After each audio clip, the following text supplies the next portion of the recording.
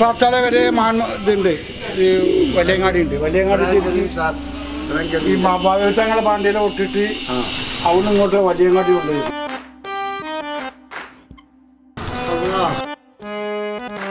ഇതിനകത്ത് വെള്ളം കുടിക്കാൻ വെച്ചിട്ട് അവിടുന്ന് ഒരു പോക്ക് പോക്കാം അവിടെ അന്ന് ചൈനക്കാരെ കച്ചവടമായിരുന്നു.